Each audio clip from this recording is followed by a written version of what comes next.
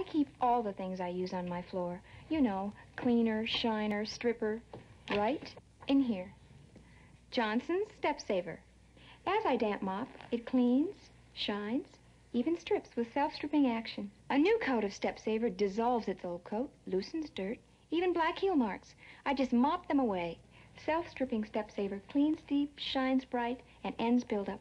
It could be all you'll need to use on your floor.